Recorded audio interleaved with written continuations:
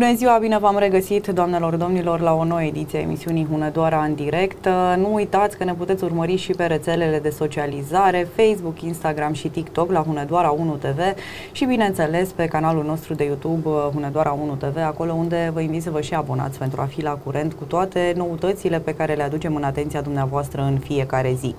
Agricultura este așa cotată la un moment, sau a fost la un moment dat ca fiind mai puțin atractivă poate pentru unii tineri sau uh, chiar și pentru cei care au avut deja o experiență în acest uh, domeniu.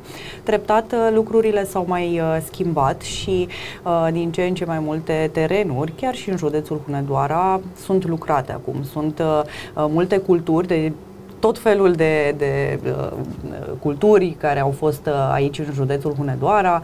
Avem, uh, din fericire, și tineri care și-au îndreptat atenția mai nou înspre acest domeniu, dar că agricultura vine și cu bune și cu rele. Despre acestea vom discuta astăzi. Vom discuta și despre oportunitățile pe care le au uh, agricultorii din județul Hunedoara și nu numai în această perioadă, dar uh, o să las pe invitatul meu să ne spună mai multe despre acest subiect. Astăzi, alături uh, de mine, mine este domnul Claudiu Grama, directorul Direcției pentru Agricultură Județeană Hunedoara. Bună ziua, bine ați venit! Bună ziua, bine v-am regăsit, mulțumesc frumos pentru invitație. Agricultura cu bune și rele, pentru că se îmbină cumva atunci când agricultorii cred că au uh, o producție nemaipomenită, ba vine o secetă, ba vin inundații, ba se întâmplă ceva, nu tot timpul, într-adevăr, dar uh, au parte și de lucruri mai puțin plăcute, să spunem, în ceea ce privește agricultura.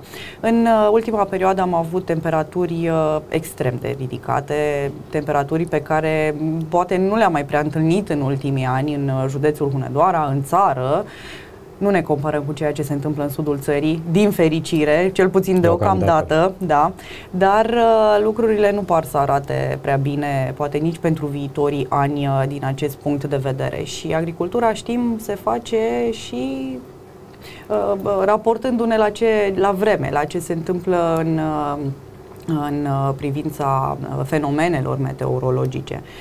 Așadar, care este situația la nivelul județului Hunedoara în ceea ce privește culturile și relația aceasta pe care o avem cu cu ce, cu ce de doamne, sus, doamne. cu doamne, doamne, exact.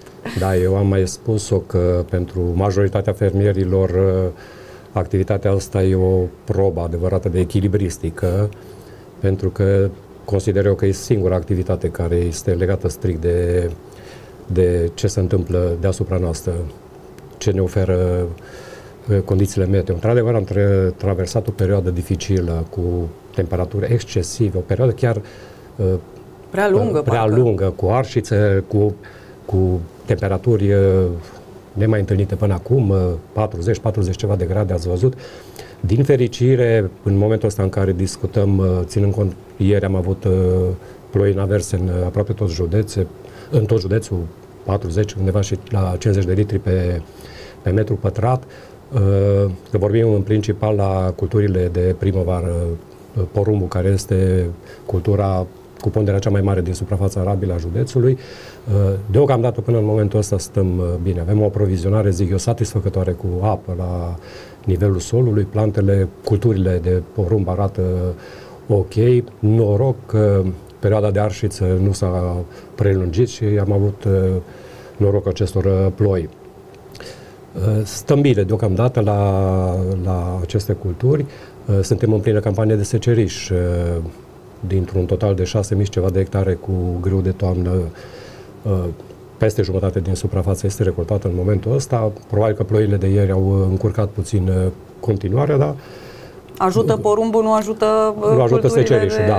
Grâu, da. exact producții care le monitorizăm de la fermier, producții, zic eu, acceptabile pentru condițiile județului Hunedoara. Cam care este la hectar? Dacă facem o medie la grâu, ieșim undeva la 5.000-5.500 de kilograme la hectar, dar spun că este o producție medie, pentru că sunt uh, zone în care am uh, vorbit cu fermieri și ne spuneau că au obținut și 7.000, 7.500, așa cum sunt zone unde au obținut uh, mai puțin. Acum, dacă în conjunctura asta îi ajută și prețurile de valorificare, spun eu că pot rămâne cu o marjă mică de profit care să le asigure continuitatea activității. Este un preț bun uh, anul acesta în ceea ce privește Tot timpul în perioada secerișului prețurile sunt coborâte. Scăzute. Da.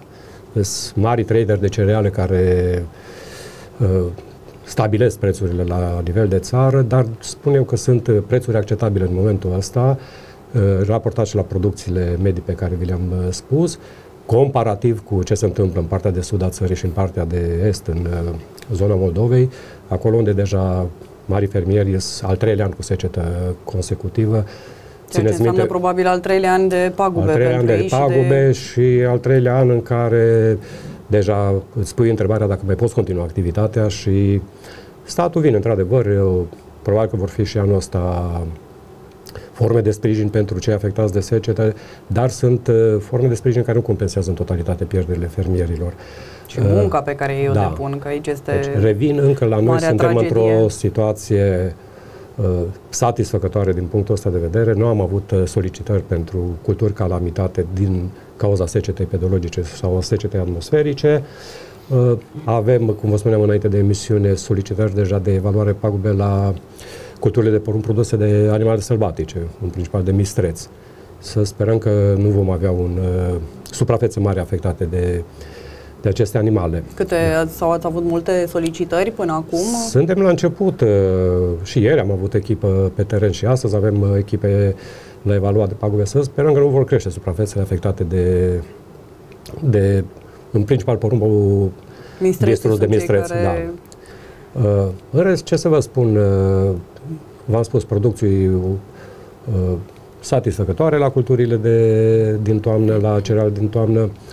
Sperăm într-o evoluție bună la porumb, la plantele de nutreț, a doua, a, a doua cultură ca și pondere în suprafața arabilă. Pe primul loc porumb, după care sunt plantele de nutreț. Suprafețe mici cu cartofi de toamnă, suprafețe cu legume în grădinile de oamenilor, în gospodările populației. Până în momentul ăsta zicem noi că suntem uh, ajutați de Dumnezeu din punctul ăsta de vedere. În ceea ce privește culturile de porumb care au fost distruse, probabil în mare parte de către mistreți, aici uh, oamenii trebuie să depună o cerere către dumneavoastră, care sunt pașii pe care trebuie să-i urmeze. Să depune o științare la primăria pe, pe raza Dacă primesc vreun sprijin da, financiar. Da, da, da. Sunt fonduri uh, uh, alocate la Ministerul Mediului. Uh, în situația în care se produce o pagubă cum vă povesteam de către Păvurce Mistreț, omul depune o științare la primărie, primăria uh, este obligată să înștiințeze să convoace Comisia de Evaluare a Pagubelor. Comisia este formată de un reprezentant al Direcției Agricole, un reprezentant al Agenției de Mediu și un reprezentant al Gărzii Forestiere. Odată întrunită comisia, se merge la fața locului, se stabilește gradul de donare și se evaluează paguba dându-i o valoare. Urmând ca ulterior oamenii să fie despăgubiți în baza celor constatate de comisie.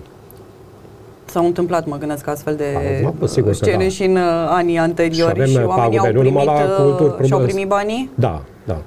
Uh, e prin intermediul dumneavoastră? Nu, sau? prin intermediul Ministerului Mediului. Uh-huh. Uh, am avut nu numai la pagube produse de mistrețe, am avut pagube produse de urși, la animale domestice, la vaci, la viței mâncați de urs, oi mâncate de urs sau de lup. În continuare, tot timpul pot să apară în anumite zone a județului, pagube produse de urs, inclusiv la stupine de albine am avut.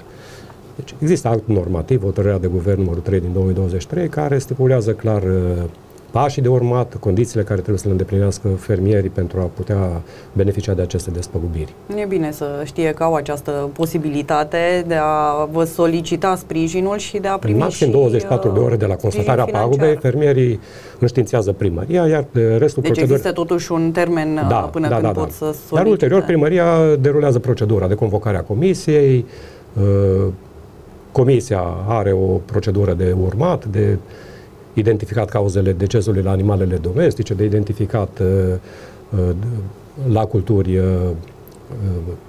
pagubele pe pagubele care le-au, le-au, le-au suferit și totul decurge din punctul ăsta de vedere normal, nu sunt... Deci e important să nu piardă vreme atunci când observă că da. s-a produs Să științeze primăria, completează un formular la primărie, iar din, după aceea primăria derulează restul procedurii. Da, sunt, uh, sunt multe probleme iată și din această cauză și cred că este destul de dificil să poată uh, să-și, nu știu, poate să-și îngrădească culturile. Vorbim aici de porumb, uh, poate care se întinde pe câteva zeci de hectare, că avem și mari uh, uh fermieri Fermier, da. în județul Hunedoara și cred că mm, e cam complicat să, să facă Dificil, acest lucru. da. Acum dacă și la supra, suprafețe mari uh, Uh, să montezi gard electric. Totuși. Uh, sunt situații în care animalele, mistreții sau ursul reușesc să-l rupă, să-l mm. distrugă, să, plece, să te treacă mai departe, să-și facă deci dificil nu, să... Nu prea pot uh, preveni astfel Probabil de că în jurul situații. caselor, a locuințelor e mai, uh, mai ușor cu... Dar acolo unde sunt suprafețe mari e greu să asiguri uh, protecție din punctul ăsta de vedere la și mai ales acolo unde vin turme de mistrețe în număr mai mare, atunci chiar e dificil să asiguri protecția culturii. Sunt doar anumite zone în județ unde se întâmplă astfel de cazuri nu. sau peste tot unde sunt poate zone peste mai apropiate sunt, de păduri sau, sau nu contează nici nu avem relieful o zonă neapărat? predilectă pentru atacurile. Unde găsește spațiu și hrană, practic asta face și ursul, și lupul, și mistrețul, coboară și își duc la îndeplinire poftele, să zic așa. Da, din, uh, din păcate pentru fermieri, din fericire pentru animalele sălbatice, că iată își găsesc hrană, dar uh, pagubele pot fi destul de, de însemnate. Spuneam la începutul emisiunii că, din fericire, agricultura se poate face acum uh, la un alt nivel, cei drept, pentru că a mai evoluat din punct de vedere tehnologic, dar și statul acordă diferite subvenții, acordă diferite modalități de a-i sprijini sprijini pe acești fermieri, chiar și pe cei tineri care sunt la început de drum, poate.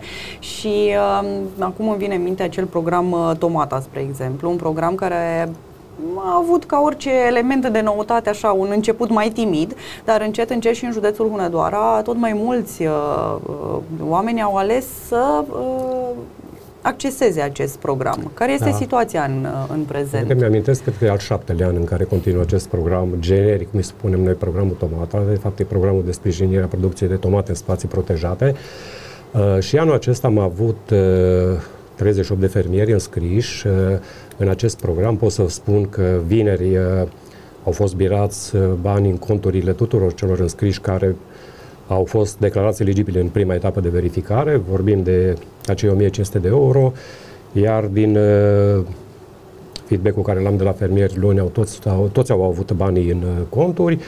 Urmează să uh, vină a doua etapă de perioada de valorificare, în care urmează să primească încă 1500 de euro. E un program de susținere, zic eu, benefic și îl spun și din prisma activității familiei mele, pentru că toți care produc în extrasezon au uh, cheltuieli mai mari față de uh, culturile din perioada normală și... Uh, Asta acest, pentru că e nevoie de încălzire Nevoie de căldură, în principal, sigur că mm. da, sunt costuri mai mari. Uh, și atunci acest Încălzire program... care se realizează cum? Sau există anumite limitări din acest punct de vedere pentru fermieri? Păi nu, o cultură făcută în extrasezon, când temperaturile afară sunt mai scăzute, uh, tomata prin, prin excelență, o plantă termofilă uh, iubitoare de căldură și normal că trebuie să asigure o temperatură. Uh, Se poate să folosi lemn? Lemn, ce, gaz, motorin, orice. Fiecare fermier își adaptează. Nu, să folosească doar anumit nu, tip de încălzire. Nu. Unii încălzesc cu tunuri de curent pe, căldu- pe curent, unii cu încălzesc cu tunuri de motorină, alții cu sobe. Fiecare cum în funcție de uh, Uh, specificul spațiului își adaptează uh, sursele de încălzire. Și automat atunci au uh, cu totul alte costuri, iar acest program vine să sprijine și să compenseze o parte din cheltuieli. Programul Tomata, trebuie să amintim și de sprijinul care l-am acordat anul acesta apicultorilor, pentru că, așa cum majoritatea fermierilor au fost afectați anul trecut, acum 2 ani, de Uh, agresiunea Rusiei împotriva Ucrainei, cu tot ce a însemnat perturbări pe piață, cu uh, întreruperea fluxurilor uh, de circulație, cu creșterea exagerată la toate costurile. Anul acesta și apicultorii au beneficiat de un sprijin din partea guvernului, vorba de acei 5 euro pentru, pe fiecare familie de albine. Uh, pot să vă spun că la în jurul datei de 26 iulie am făcut plățile către un număr de 508 beneficiari pentru 40, peste 45.000 de familii de albine. Bani care au intrat în conturile apicultorilor care s-au au solicitat această formă de sprijin. Uh, în continuare avem în derulare această schemă de ajutor de minimis pentru cartof. Avem și în acest program înscriși 14 fermieri cu o suprafață de 24 de hectare de cartofi. E vorba de sprijinul acela de 200 de euro pe, pe hectarul de cartof. Mai avem în derulare această schemă de ajutor de minimis pentru cultivatorii de usturoi. Am avut doi fermieri înscriși, din păcate unul nu a trecut proba verificării în teren.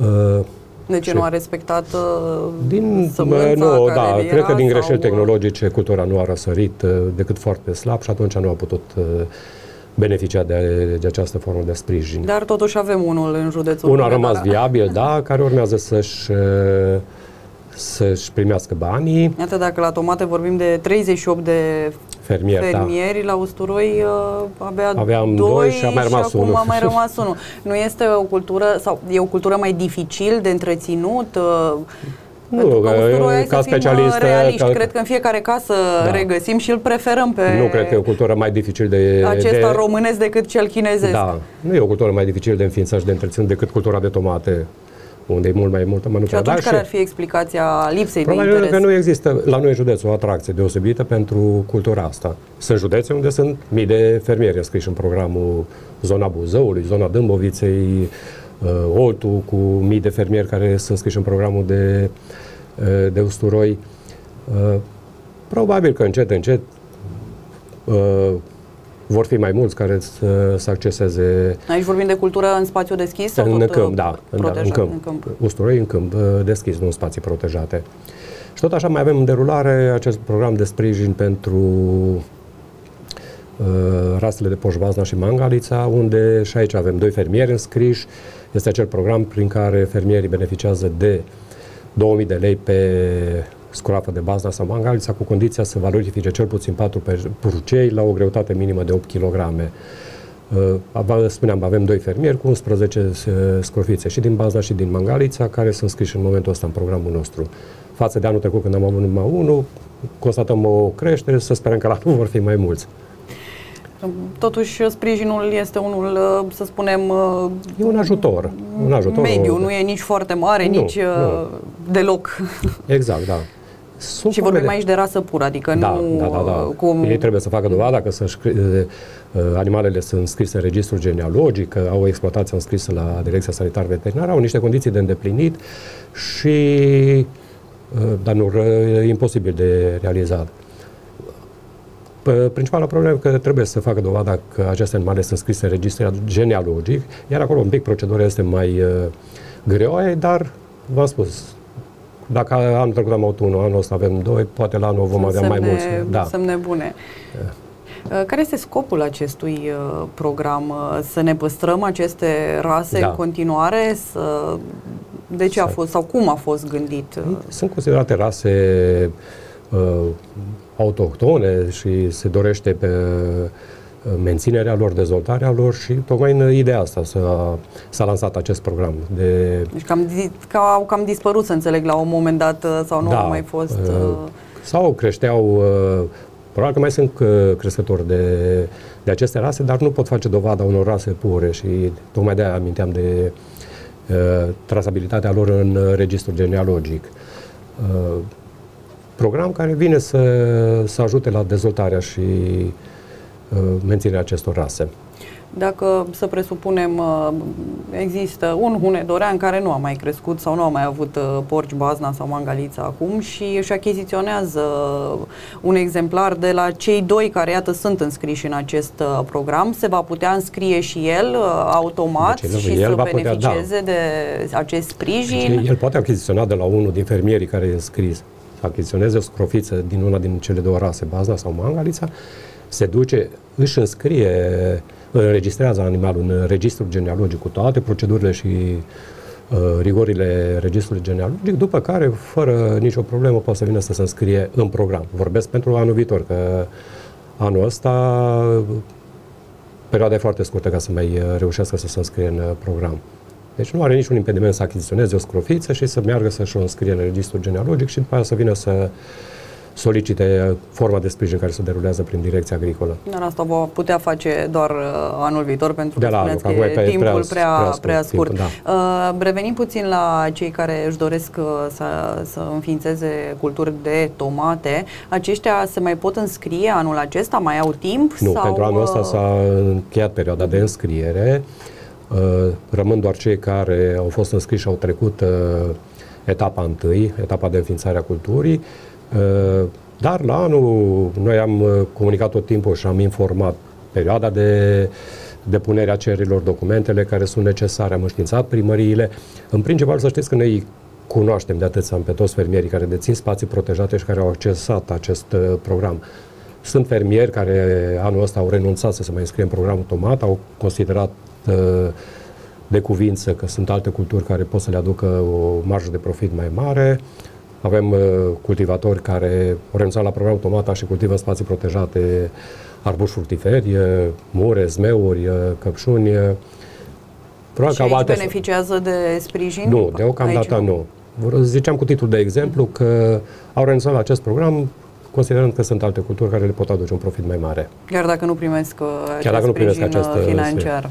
Iar ceilalți care au rămas în program sunt cultivatori consacrați din, din județ pe care îi cunoaștem de mult timp și pe care, din fericire, îi găsim și în piețe și da. uh, unii dintre ei chiar uh, oferă produsele direct din uh, uh spațiile uh, special amenajate. De la poarta fermei. Exact, de la poarta... De Așa cum avem fermieri care vând avem în zona Aurelului cu fermieri care vând în piața la Cugir, care sunt consacrați, cunoscuți, care de ani de zile valorifică acolo. Deci și în piețele din județ, dar și în piețele din orașele limitrofe județului.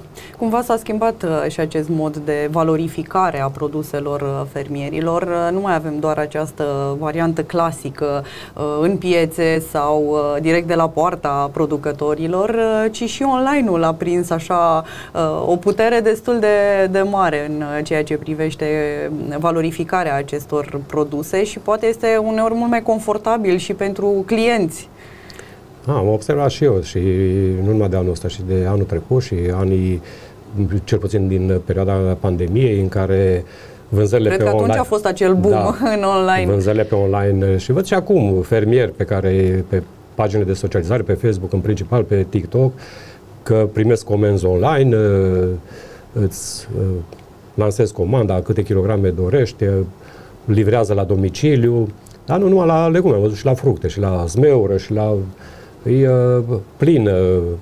A, fine, da. că acum e și perioada da, lor. Da.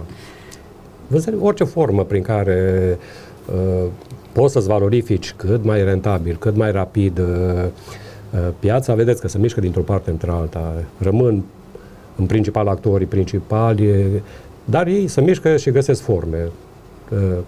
Uh, nu mai Găsesc pot. forme, doar că mi se pare că reușesc așa cumva de unii singuri să facă acest lucru, în sensul în care s-a tot discutat uh, în ultimii ani de asocierea fermierilor, de a uh, putea să-și uh, valorifice produsele mult mai bine, mai ușor, să aibă o vizibilitate mai mare, dar totuși mi se pare că fiecare fermier își vede așa de propria ogradă și nu a prea acceptat astfel de provocări, să spunem. Asta e vechea problemă și noi am mai discutat-o la noastră în emisiune. Nu s-a schimbat nimic, ba chiar... Uh, Sunt pași, tot, eu le spun, pași timiză, că avem uh, și forme asociative, avem uh, grupuri de producători recunoscute și pe sectorul de legume și pe sectorul de zootehnie, care au făcut pași sau uh, asociat. s-au asociat, au uh, o conducere bine pusă la punct, au reguli stricte, Uh, dar pe celălalt segment, la nivelul cooperativelor agricole, încă zic eu că sunt pași timizi făcuți. Probabil că s-au mai fost impulsionați fermierii și pe faptul că primeau un punctaj la accesarea fondurilor europene pentru faptul că erau membri într-o formă asociativă, că vorbesc de un grup de producători sau de co- o cooperativă agricolă, dar încă pașii sunt uh, Uh, sunt uh, mici. Înseamnă că uh, ceva nu funcționează așa Eu zic că e greu să... Trebuie să ai un nucleu de oameni de încredere, oamenii ei membri să aibă încredere în ei.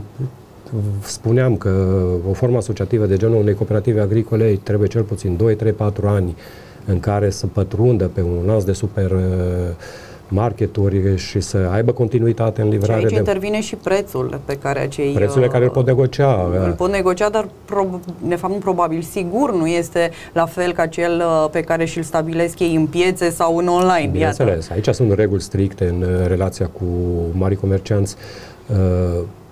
Faptul că își pot negocia prețurile faptul că au continuitate la valorificarea, pentru că în piață poți să ai surpriză, să ai sincope de valorificare, să prinzi o perioadă în care un produs e în abundență și prețurile sunt mici.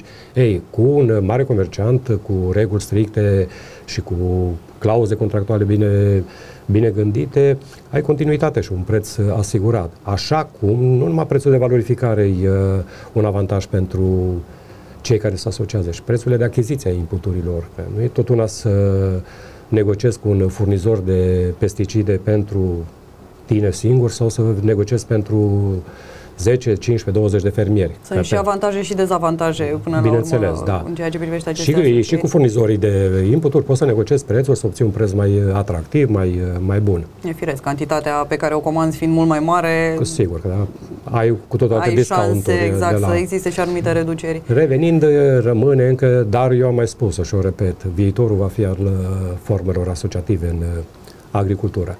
Încă sunt uh, pași Probabil că din anumite considerări preferă încă sau pe principiul am mai descurs singur încă și cu vânzarea și cu... Există probabil și anumite orgolii, inclusiv în agricultură, cu siguranță. Cu siguranță există orgolii. orgolii unul crede că are marfă mai bună și mai frumoasă, dar, încă o dată o repet, viitorul va fi al formelor asociative pentru a putea supraviețui într-o piață competitivă, într-o piață pe care ne-a apărut și acest Uh, ne-a ajuns cu războiul din Ucraina, că vor, nu vorbim numai de prețurile la legume, vorbim și de prețurile la cereale, că vedeți piața invadată, așa cum uh, aminteam de apicultori, piața invadată de miere din Ucraina și din China, cu perturbări mari asupra apicultorilor. E Majoritatea poate prea mult spus miere din China, că Știm un produs mare, contrafăcut. Exact. Cu denumirea știm de mare miere, parte da. dintre noi uh, ce înseamnă acele produse sau uh, și în unele supermarketuri uh, vedem un kilogram de miere 14 lei.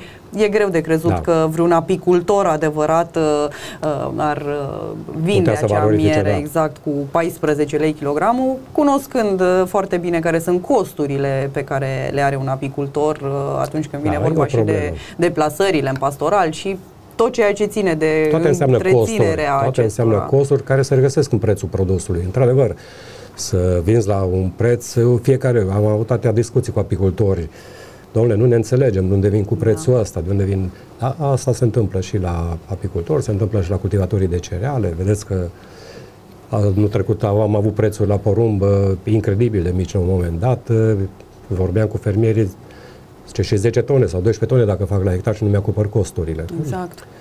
Da, e o problemă și asta. Sunt forme de sprijin, ați văzut, mai guvernul este conștient și vine cu, cu aceste forme de ajutor pentru fermieri pentru a compensa un pic din uh, tot ce înseamnă perturbările de piață.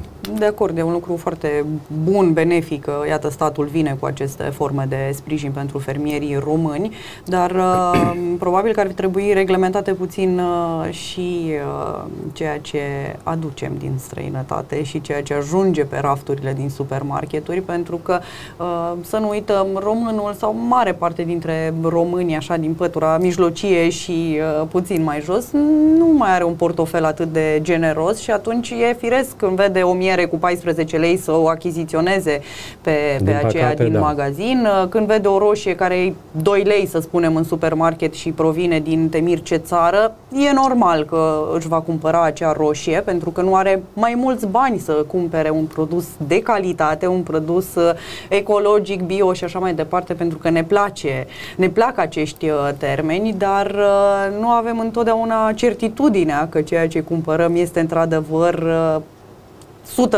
100% curat și sănătos. Și atunci probabil că și statul ar trebui să găsească anumite forme de a uh, verifica mai mult aceste produse care ajung din uh, diferite țări în, uh, în România.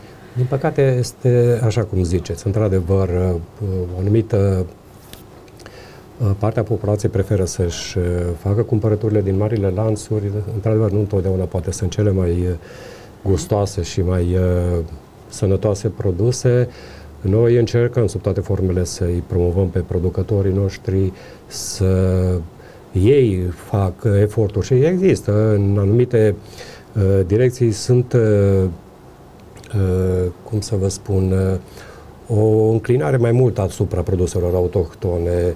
Ei își uh, creează deja clientela lor, uh, bine că nu în totalitate, încă sunt uh, marile lanțuri de magazine cu care e greu să te lupți de la nivelul uh, ăsta.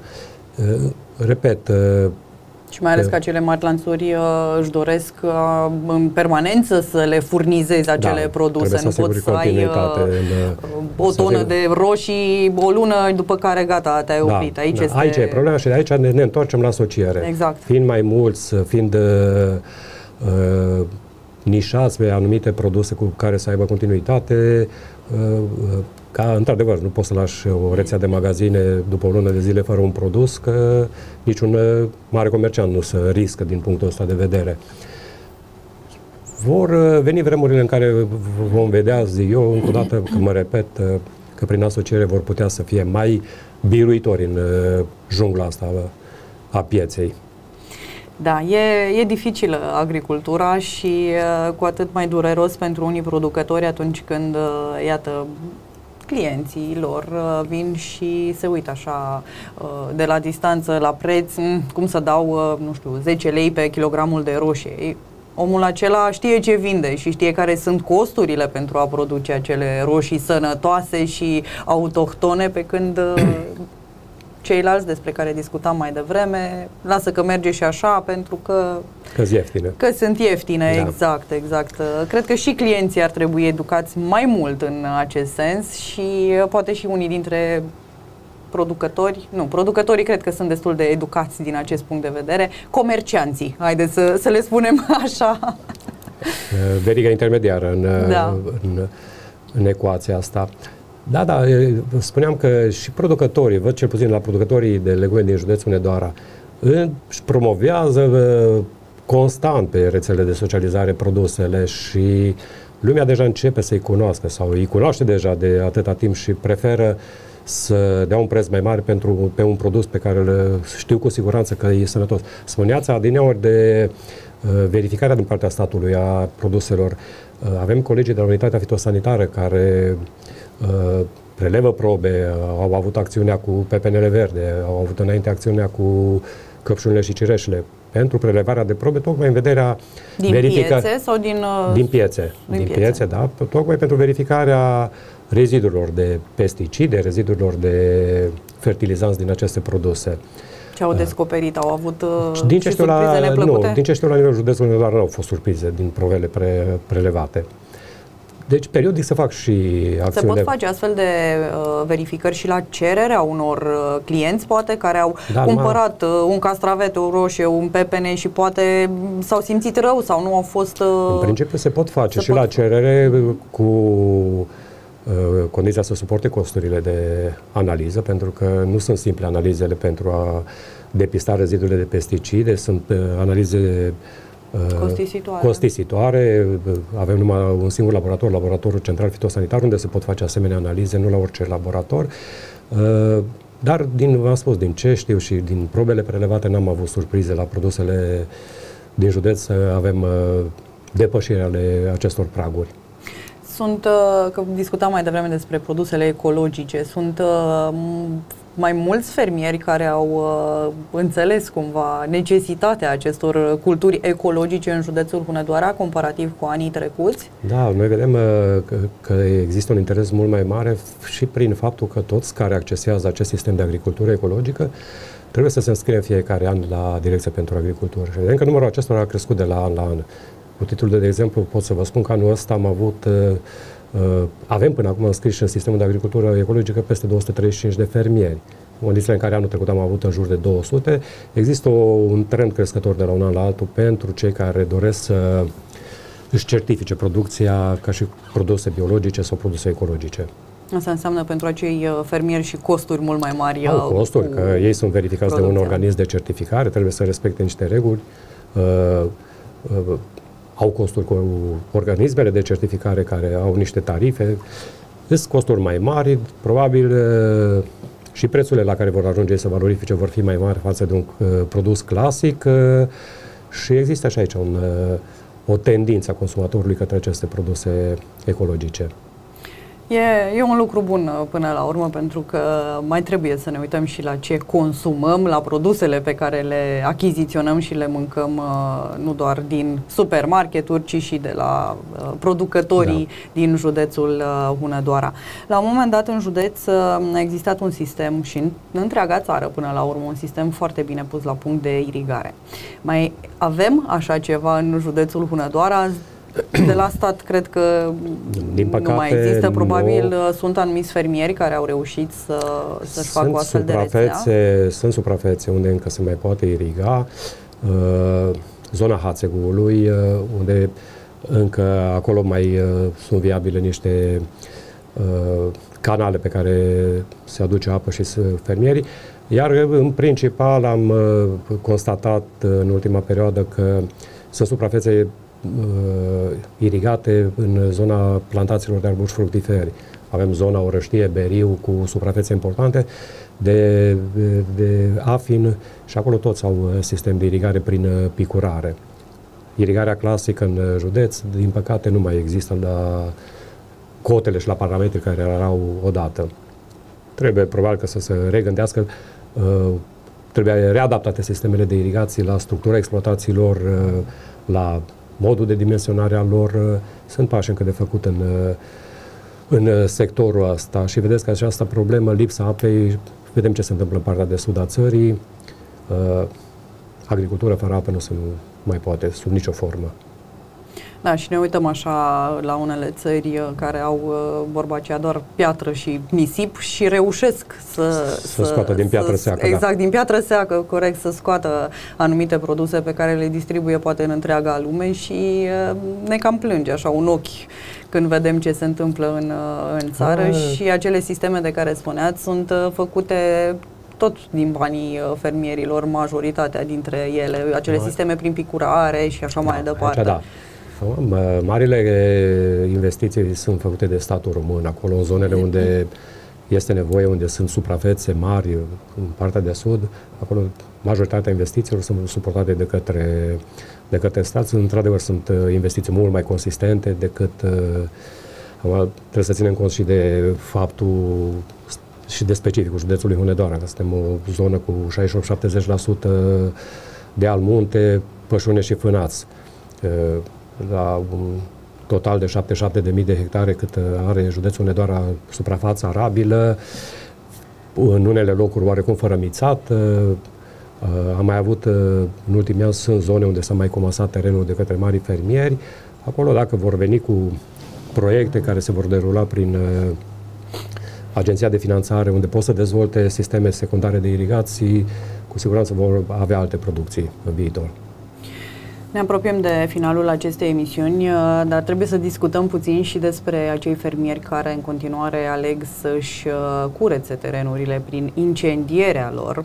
Și am văzut că și la nivel național și în județul Hunedoara există um, anumite instituții care și-au unit forțele pentru a stopa acest fenomen, pentru că vedem aproape în fiecare zi, mai puțin zilele acestea când a plouat în uh, județul Hunedoara, vedem pompierii la lucru, vedem că sute de hectare de teren, vegetație, flăcări care se extind câteodată și la gospodăriile oamenilor, în păduri, unde este și mai uh, greu de gestionat uh, un incendiu și uh, parcă nimeni nu ia nicio măsură. Iată că lucrurile se schimbă și uh, pot da. fi sancționați destul păcate, de dur acești fermieri. Din păcate ne mai întâlnim cu situații, e cea mai facilă formă de a curăța prin incendiere. Uh, Uh, statul vine și sunt, uh, sunt instituții, aici vorbesc de Inspectoratul de Situații de Urgență împreună cu colegii de la APIA care uh, taxează drastic acești fermieri care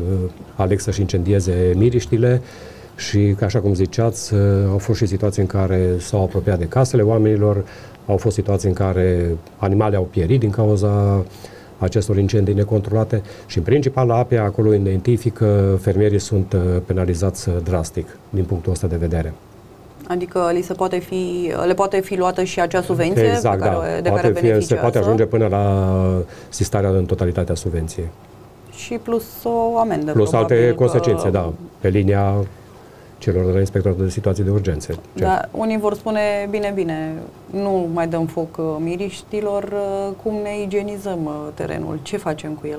Sunt lucrări tehnologice care pot fi făcute, nu neapărat numai prin incendiere. Sunt uh, discuiri ușoare prin care poate fi uh, combătută miriștea, cu totul alte nici de cum prin uh, incendiere.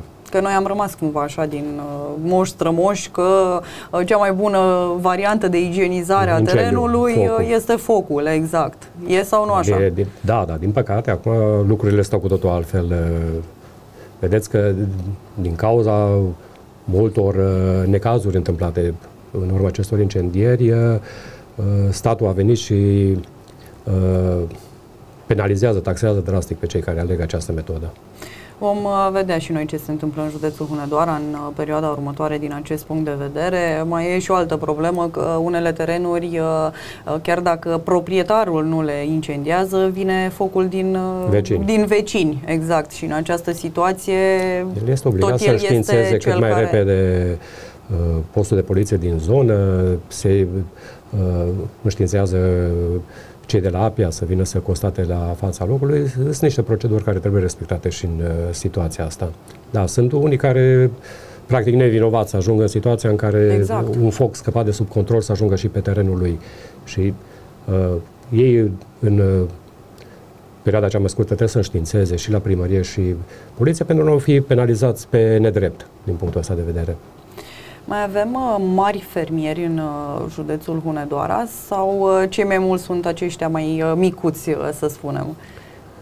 Uh, avem mari fermieri, acum uh, un fermier mare la, în județul Hunedoara uh, nu e tot una cu un fermier mare din uh, partea de vest a țării, dar avem fermieri care au reușit să-și comaseze suprafețe consistente raportat la uh, dispunerea terenului arabil din uh, județ. Avem și în zona Hațegului, avem pe Valea Mureșului, în zona Orăștiei, uh, atât pe partea de vegetal, cât și pe partea de zootehnie. Avem fermieri importanți și cu pondere în uh, agricultura. Cum știm că și aici, în ceea ce privește uh, partea aceasta zootehnică, avem, cred că, cel mai mare crescător, crescător de, de oi, da. oi în, din țară. Sigur că da.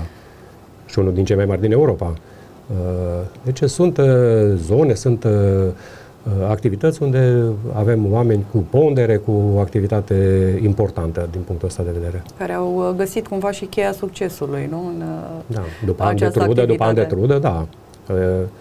Ajung că nu e ușor în timp să comasezi suprafețe, să poți să ai tarlale și parcele mari unde să aplici o tehnologie cum trebuie sau așa cum aminteați de crescătorul să ai sub efective pe care să le uh, valorifici cu o altă valoare în uh, țările arabe. Deci sunt pași importanți făcuți de, de acești fermieri.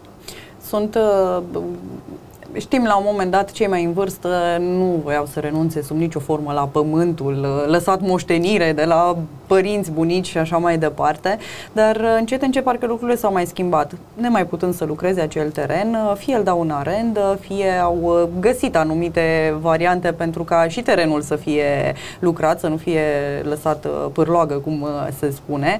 Și avem as- multe astfel de, de cazuri în care, iată, mari fermieri poate au luat luat uh, în arendă terenuri? Că, uh, populația îmbătrânită, așa cum ziceați, care nu mai are putere să lucreze acea suprafață. Care că e, mică, e cam majoritară da, și în județul Hunedoara. Uh, majoritatea au ajuns la concluzia că dându-l în arendă unui fermier beneficiază în primul rând de contravaloarea arenzii care nu e deloc de neglijat în momentul ăsta uh, și cu siguranță și pământul uh, nu-i tot una să-l lași ani de zile părloagă sau să-ți fie cultivat.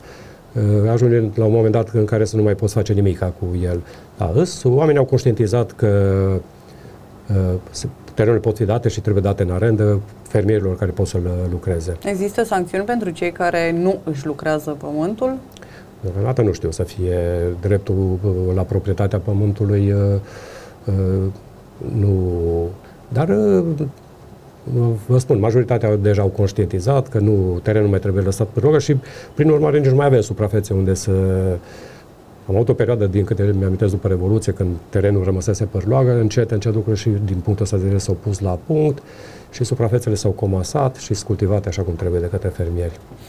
În această toamnă, în acest an, mai avem parte de anumite schimbări, modificări legislative, ceva noutăți uh, în ceea ce privește agricultura sau fiind an uh, super electoral sau mai liniști lucrurile, așa au uh, fost lăsate un pic... Nu cred, nu. Nu se anunță nimic...